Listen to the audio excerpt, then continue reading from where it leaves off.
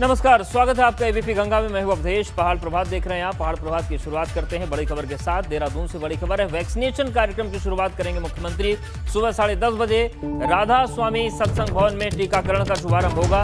18 साल से 44 साल तक के लोगों को टीका लगेगा और सुबह साढ़े ग्यारह बजे हल्द्वानी रवाना होंगे CM Tirath. MB PG college में वैक्सीनेशन कार्यक्रम की शुरुआत मुख्यमंत्री करेंगे।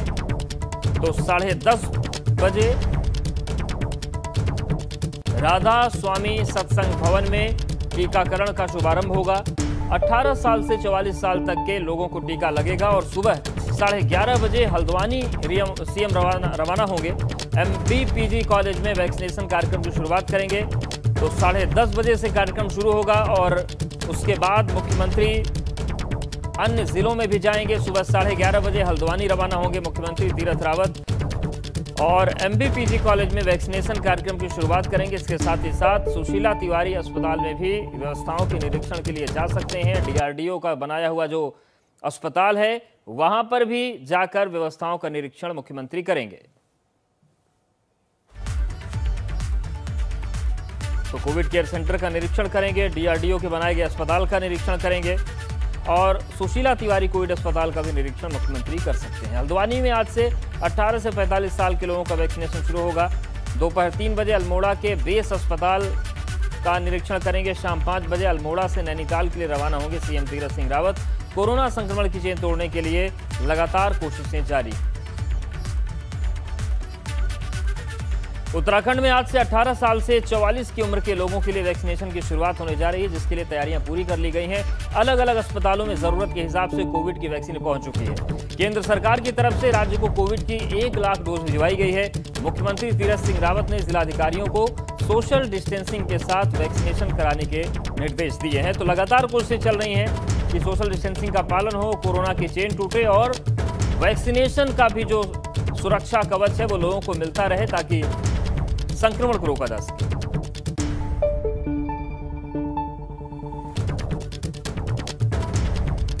तो देहरादून में आज से वैक्सीनेशन की शुरुआत हो रही है 18 से चौवालीस साल तक के लोगों के लिए और साढ़े दस बजे राधा स्वामी सत्संग भवन में मुख्यमंत्री शुभारंभ करने जा रहे हैं। केंद्र की ओर से राज्य को वैक्सीन की एक लाख डोज भेजी गई है और अलग अलग सेंटर्स पर कोविड वैक्सीन को भेज दिया गया है। रजिस्ट्रेशन कराने पर ही कोविड वैक्सीन मिलेगी। तो उसका शुभारंभ आज 18 से 44 साल तक के लोगों के लिए होने जा रहा है। और हल्द्वानी में वैक्सीनेशन कार्यक्रम में शामिल होंगे मुख्यमंत्री। दोपहर साढ़े बारह बजे हल्द्वानी पहुँचेंगे। डीआरडीओ के 500 बेड के कोविड अस्पताल का मुख्यमंत्री निरीक्षण करेंगे और मिनी स्टेडियम में बन रहे कोविड केयर सेंटर में भी जाएँगे। सुशीला तिवारी अस्पताल का भी निरीक्षण करेंगे मुख्यमंत्री। तो लगातार कोशिशें यही चल रही हैं कि व्यवस्थाएँ दुरुस्त हों और व्यवस्थाओं को दुरुस्त किया जाए, इसके साथ ही साथ वैक्सीनेशन का कार्यक्रम भी चलता रहे।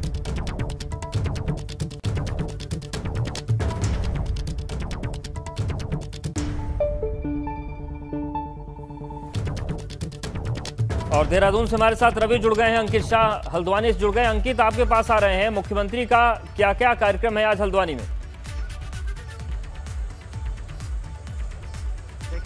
आपको बता दें कि 18 से 44 साल के लोगों को आज वैक्सीनेशन की डोज लगने जा रही है और मुख्यमंत्री तीरथ सिंह रावत का हल्द्वानी का दौरा है और जहाँ वैक्सीनेशन लगेगी, हल्द्वानी के एम कॉलेज में वैक्सीनेशन लगेगी। मैं आपको दिखाना चाहूँगा कि इस प्रांगण में, इस हॉल में वैक्सीनेशन कार्य भी कुछ ही देर में यहाँ पर शुरू हो जाएगा और यहाँ पर मुख्यमंत्री यहाँ पर शिरकत करेंगे, यहाँ पर जायजा लेंगे और जितने भी वैक्सीन लग रही हैं लोगों को उनसे मिलेंगे। उसके बाद जो डी की ओर से पाँच बेड्स का अस्पताल बनने जा रहा है, कोविड अस्पताल बनेगा एमबीपी मेडिकल कॉलेज है, वहाँ पर जाकर निरीक्षण करेंगे और हल्द्वानी के जो मिनी स्टेडियम है, वहाँ पर कोविड अस्पताल बना हुआ है, वहाँ जाकर मुख्यमंत्री यहाँ पर निरीक्षण करेंगे आप देश बिल्कुल, रवि आपके पास आ रहे हैं, अगर हम बात करें 18 से 44 साल तक के लोगों के वैक्सीनेशन की तो कहाँ से ये कार्यक्रम शुरू होगा और किस तरीके से पूरी रूपरेखा रहेगी?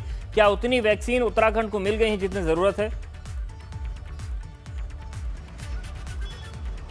जी देखिए, अवधेश, आज मुख्यमंत्री देहरादून से इस कार्यक्रम की शुरुआत कर देंगे। राधा स्वामी सत्संग से ये कार्यक्रम की शुरुआत होगी। 18 से 44 का वैक्सीनेशन आज से शुरू होना है। काफ़ी देर हो गई है क्योंकि एक मई से ये वैक्सीनेशन शुरू होना था और जहाँ तक अभी जो डोजेस की बात है वो सिर्फ़ एक लाख डोजेस उत्तराखंड में पहुँची हैं।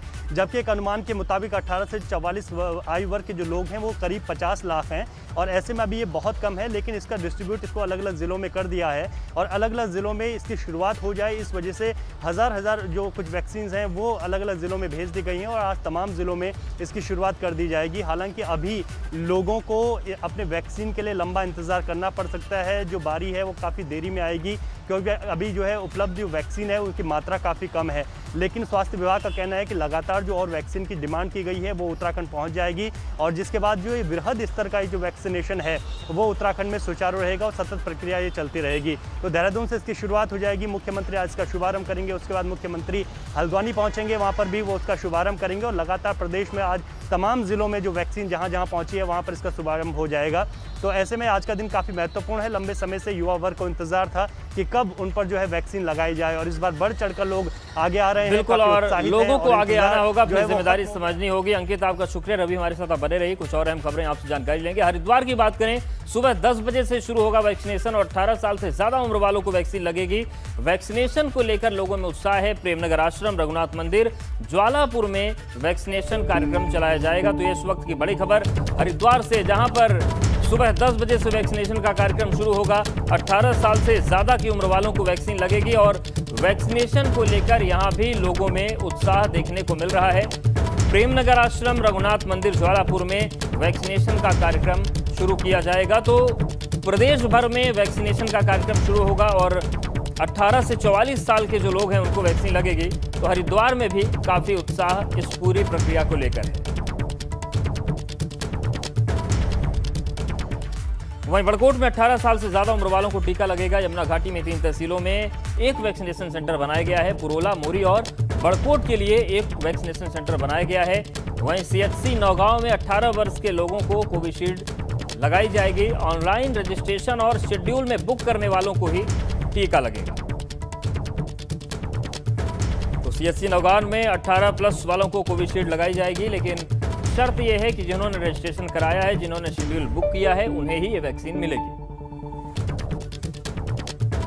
उत्तराखंड में पिछले 24 घंटे के भीतर कोरोना के मामले कुछ कम हुए हैं। पिछले 24 घंटे में कोरोना के 5,890 नए केस सामने आए हैं जबकि बीते दिन 8,390 नए केस सामने आए थे।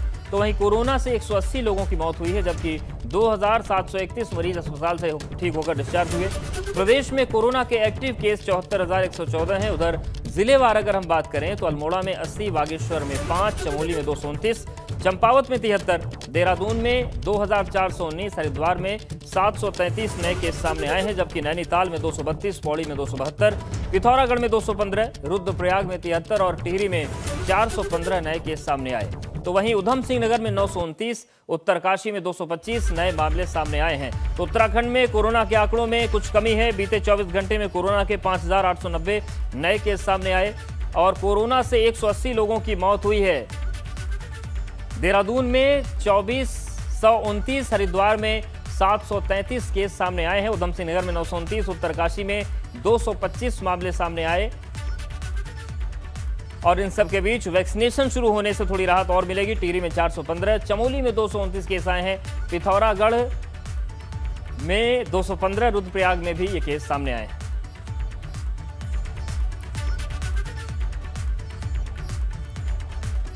तो बागेश्वर में सबसे कम पाँच मामले मिले हैं। तो बागेश्वर में राहत है और आंकड़ों में जो कमी आ रही है, बागेश्वर पर उसका अच्छा असर। है उत्तराखंड में अब 11 मई से लेकर 18 मई तक पूरे प्रदेश में कोविड कर्फ्यू लगा दिया गया है। दरअसल आज कोविड कर्फ्यू खत्म हो रहा है, जिसे आगे बढ़ा दिया गया। इस दौरान प्रदेश सरकार की तरफ़ से सख्त आदेश हैं कि कर्फ्यू का सख्ती से पालन कराया जाए। सिर्फ़ आज एक बजे तक फल, दूध, सब्ज़ी और ज़रूरी सेवाओं की दुकानें खुलेंगी। अंतर्राज्यीय परिवहन में पचास फ़ीसदी वाहनों के संचालन की अनुमति है। उसके लिए भी कारण बताना पड़ेगा। अगर कारण सही नहीं है, अगर बहानेबाजी है तो फिर दिक्कत होगी। और रवि हमारे साथ जुड़ गए हैं। रवि, जो उत्तराखंड में कोरोना कर्फ्यू है, जो ज़रूरी चीज़ें उनके लिए दुकानें खुलेंगी, अगर बहुत ज़रूरी कारण है तो उसके लिए परिवहन आप कर सकते हैं। क्या क्या और गाइडलाइंस हैं, और जो नहीं मानेंगे, क्या उनका चालान कटेगा, उनको कोई सजा है? जी, अवधेश, देखिए, जो आज का दिन है, आज एक बजे तक दुकानें खुलने का समय रखा गया है। कल 11 तारीख से 18 तारीख तक पूरे प्रदेश में कोविड कर्फ्यू सख्ती के साथ इसका ला, इसको लागू कर दिया जाएगा और इसका पालन न करने पर जो है विधिक कार्रवाई की जाएगी। जहाँ तक बात की जाए 13 तारीख की तो 13 तारीख को प्रदेश में जो राशन की दुकानें हैं वो खुली रहेंगी। बाकी सभी दिन अब राशन की दुकानें भी बंद रहेंगी ये सख्ती की गई है। वहीं दूध फल सब्ज़ी और डेयरी की अगर हम बात करें तो वो सुबह दस बजे तक ही खुली रहेंगी जो प्रत्येक दिवस पर खुली रहेंगी। इसके साथ ही जो निकाय हैं उनको सैनिटाइजेशन करने के लिए कहा गया है कि वो अपने अपने क्षेत्रों में सैनिटाइज करें और पूरी तरीके से जो कोविड कर्फ्यू है उसका पालन भी कराएँ। इसके साथ ही पुलिस प्रशासन, जिला प्रशासन को भी ये कहा गया है कि अब सख्ती के साथ इसका पालन कराया जा सके। वहीं देहरादून की अगर हम बात करें तो यहाँ पर बहुत ज़्यादा केसेस हैं। ऐसे में अब लोगों को कोविड को देखते हुए संक्रमण ज़्यादा न फैले। ऐसे में जो बेवजह घूम रहे हैं उनके लिए कैदी वाहन भी अब निकाल दिया गया है। कैदी वाहन में लोगों को जो है थाने पहुँचाया जा रहा है और उनसे ये पूछा जा रहा है कि आप बेवजह क्यों घूम रहे हैं? तो ये तमाम सख्तियाँ हैं जिसको शुरू कर दिया गया है। इसके साथ ही हम बात करें तो जो मंडी है, मंडी में भी आम आदमी का प्रवेश वर्जित है। मंडियों में सिर्फ़ किसान और इसके साथ ही जो थोक व्यापारी हैं वही जा सकेंगे। आम आदमी भी मंडियों में नहीं जा सकेगा। तो तमाम रिस्ट्रिक्शन किए गए हैं और इन रिस्ट्रिक्शन के साथ अगर हम बात करें तो ये कोशिश की गई है कि इस बार का जो कोविड कर्फ्यू है उसे सख्ती के साथ लागू किया जा सके और इसीलिए पूरे प्रदेश में कोविड कर्फ्यू को लगाया गया है। लोगों से लेकिन रवि मांग कर रहा है कि संपूर्ण लॉकडाउन की ज़रूरत है। तो क्या इस पर कोई विचार हो सकता है? हालाँकि यही वो विपक्ष है जब संपूर्ण लॉकडाउन लगा था तो विरोध करते थे। जी बिल्कुल, देखिए संभावना ज़रूर थी कि संपूर्ण लॉकडाउन लगाया जा सके, लेकिन अभी सरकार की अगर बात करें तो प्रदेश में संपूर्ण लॉकडाउन का साहस अभी सरकार नहीं जुटा पा रही है। उसके पीछे काफ़ी वजह हो सकती हैं लेकिन इस पर ज़रूर मंथन चला था। मुख्यमंत्री ने भी इस अपने अधिकारियों के साथ इसको लेकर बैठक की थी लेकिन अभी फ़िलहाल जो है कोविड कर्फ्यू को ही बढ़ाया गया है और इस कर्फ्यू को सख्ती के साथ इसका पालन कराया जा सके। अभी इसी तरीके की स्थिति सरकार को नज़र आ रही है। अगर हम बात करें थोड़ा सा कोविड के जो केसेस हैं वो भी कुछ कम हुए हैं जिस तरीके से हम बता रहे हैं लेकिन जो मौतों का आंकड़ा है उसमें अभी कमी नहीं आई बिल्कुल कमी नहीं आई और यही चिंता का विषय है। शुक्रिया रवि जानकारी और अपडेट्स को देने के लिए। तो कोरोना से बिगड़े हालात पर अब विपक्ष भी हमलावर है। कांग्रेस प्रदेश अध्यक्ष प्रीतम सिंह का कहना है कि सरकार नहीं तय कर पा रही है कि मौजूदा हालात में क्या करना चाहिए। तो विपक्ष लगातार निशाना साध रहा है। कार्यप्रणाली पर भी, कोरोना से निपटने पर भी और जो आंशिक लॉकडाउन है, उस पर विपक्ष की मांग है कि इसे संपूर्ण लॉकडाउन किया जाए। सरकार में अंतर विरोध है और जिस सरकार में अंतर विरोध होता है, वो सरकार निर्णय लेने में अक्षम होती है। और ये स्थिति इस सरकार में दिखाई दे रही है। दो मत हैं। कुछ लोग कहते हैं कि लॉकडाउन लगना चाहिए, कुछ कहते हैं कि देखेंगे। तो अनिर्णय की स्थिति है और उसका खामियाजा उत्तराखंड के लोग भुगत रहे हैं। जब सर्वदलीय बैठक हुई थी तो सब पार्टी के लोगों ने एक मत से, एक स्वर से कहा था कि सरकार कोरोना की इस चैन को तोड़ने के लिए कठोर से कठोर कदम उठाने का काम करे ताकि ये जो कोरोना की महामारी है, ये व्यापक रूप धारण ना कर सके। लेकिन कोई कदम सरकार ने नहीं उठाया हम चाहते हैं कि कोरोना की चैन को सरकार तोड़े और लॉकडाउन की अगर आवश्यकता है, उसको इम्पोज करना चाहिए।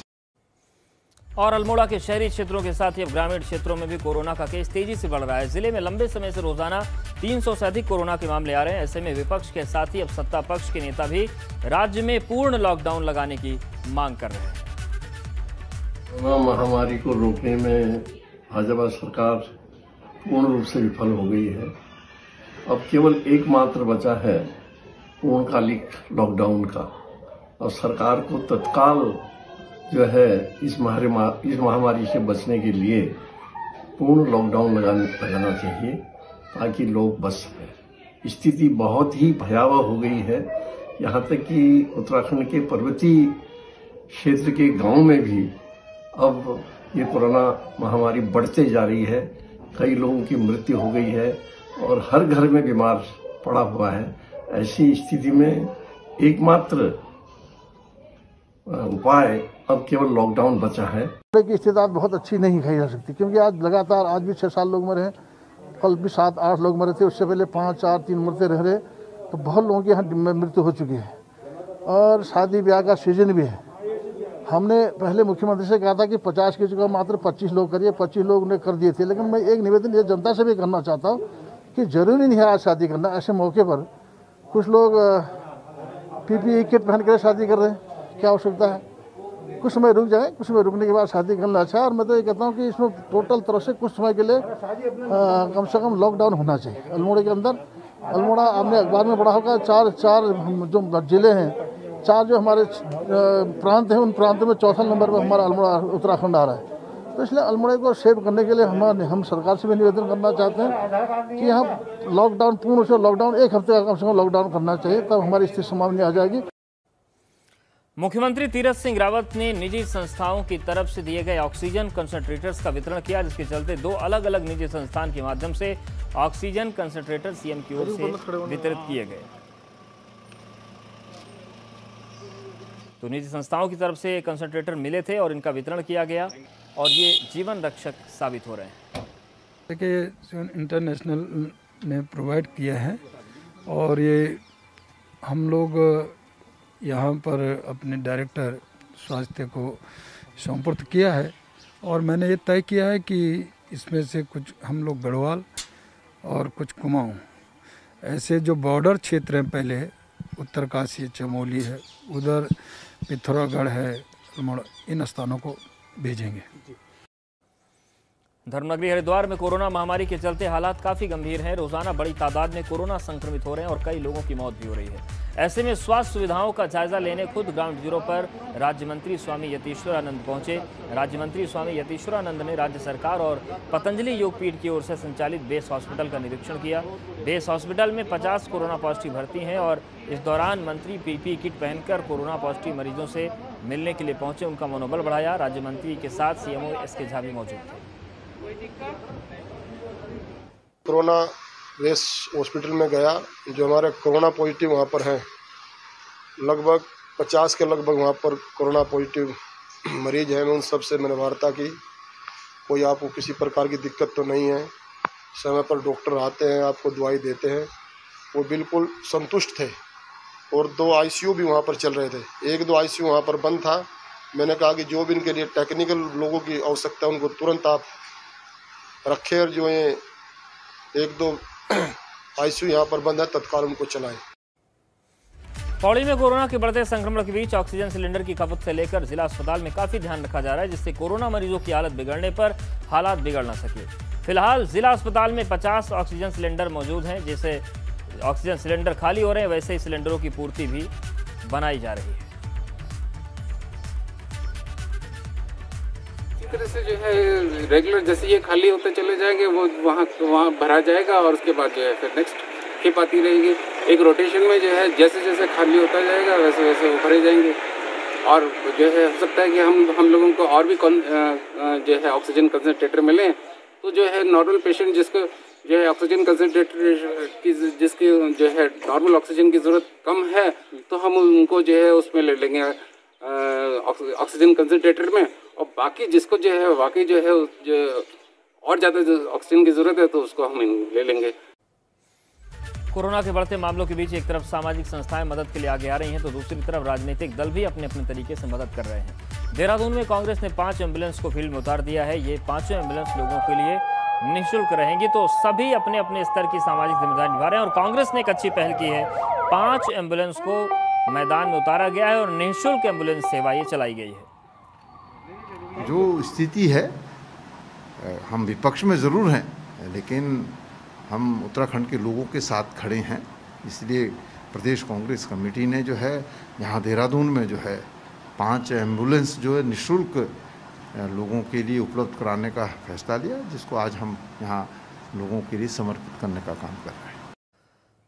और उत्तराखंड के पहाड़ी इलाकों में कोरोना का कहर बढ़ रहा है। इस बीच कुछ लोग अपने प्रयासों से मदद के लिए आगे आ रहे हैं। उत्तरकाशी में यमुनोत्री विधानसभा से पूर्व प्रत्याशी रहे संजय डोभाल और स्वास्थ्य विभाग की टीम ने सैनिटाइजर, मास्क और कोरोना से जुड़े दूसरे ज़रूरी सामान बांटे। इस दौरान ग्रामीणों से यह भी अपील की गई कि कोरोना के संक्रमण को लेकर वो सावधानी बरतें।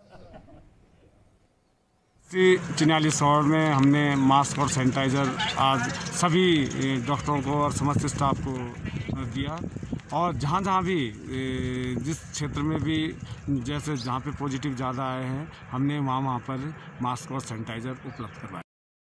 हरिद्वार के रानीपुर कोतवाली क्षेत्र के सलेमपुर महदूद गाँव में एक दिल दहलाने वाला मामला सामने आया। यहाँ देर रात सलेमपुर महदूद गाँव में दो बच्चों के शव मिलने से हड़कम मच गया। बच्चों के शव घर के पास ही गोदाम में खड़ी कार से बरामद हुए।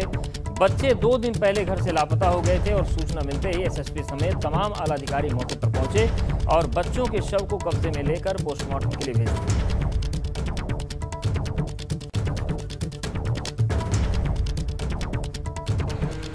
तारीख रात को हमारा रानीपुर कोतवाली में सूचना मिली।